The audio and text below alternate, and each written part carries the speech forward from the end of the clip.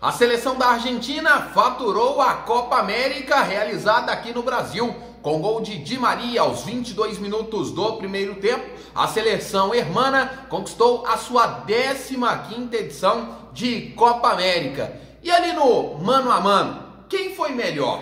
Messi ou Neymar? Aliás, Messi que conquistou seu primeiro título com a camisa da seleção hermana. Foi um jogo muito equilibrado. Mas é claro que a vitória da Argentina foi justa, não houve erro de arbitragem.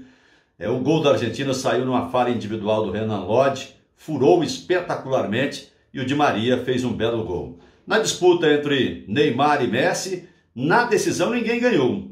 Ninguém brilhou. Nem o Messi foi brilhante, nem o Neymar do lado do Brasil. O Neymar até lutou um pouco mais. No geral, o Messi foi escolhido o melhor jogador da competição pelo conjunto da obra porque fez mais gols, foi artilheiro da competição com quatro gols, fez assistências. Então, por isso é que o Messi ganhou. E ele ganhou essa disputa do Neymar porque ele é melhor.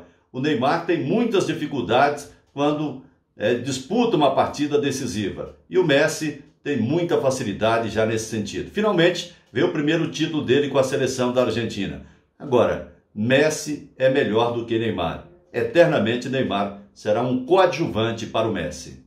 Merecido o título da Copa América pela equipe da Argentina, um jogo equilibrado como a gente já esperava, duas grandes seleções mundiais, um clássico mundial, um jogo bem batalhado ali dentro de campo, bem brigado, como tem sido sempre é, jogos entre Argentina e Brasil. A diferença foi a falha do Renan Lodge ali no gol do Di Maria, onde um jogador profissional, um lance daquele simples, ele não conseguiu é, cortar, então a falha é muito grave. E o duelo pessoal de Messi e Neymar, dois talentos do futebol brasileiro, o Messi um no futebol mundial, o Messi um gênio, buscou, tentou jogar, assim como o Neymar. Neymar fez o que deu, lutou, batalhou, tentou, deu assistência mas realmente o Messi foi melhor e merecido o título, da, o título da Argentina. E fiquei feliz, confesso, pelo Messi, porque ele precisava de um título aí de, é, a nível de seleção, estava devendo ainda, tiram a pressão e é um grande jogador realmente. Então o título da Argentina ficou em, o, ficou em boas mãos com a Argentina esse título.